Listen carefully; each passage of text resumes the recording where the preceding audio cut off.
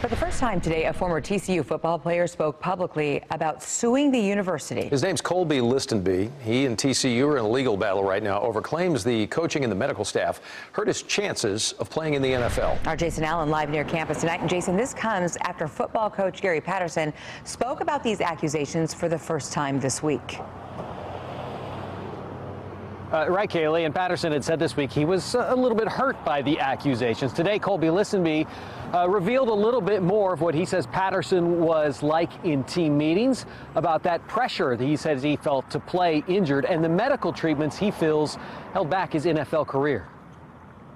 Taking a shot, Listenbee, touchdown. The treatment that kept Kolby Listenbee running on the field as a college athlete, he says also kept him from stepping foot on a field in the NFL. Uh, I was getting injected with cortisone and then uh, numbing shots to play every game. In an interview with ESPN next to his attorney, Listenbee said he would receive up to five shots for a pelvis injury so he could play in a game. In one case, he said it numbed his entire leg, and he described a constant pressure to play. It was very aggressive, like uh, I'd be in a uh, receiver meeting room and stuff, and we watching film.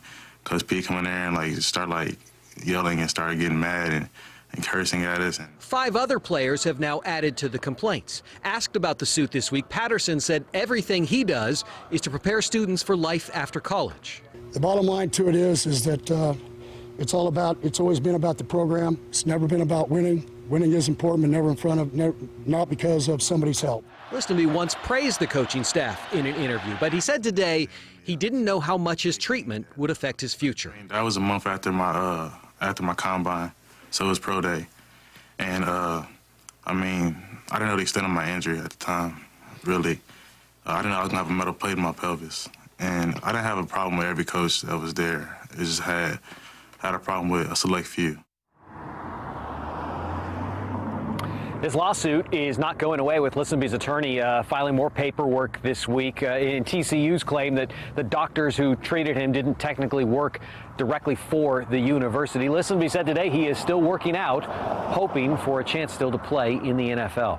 Live tonight in Fort Worth, Jason Allen, CBS 11 News.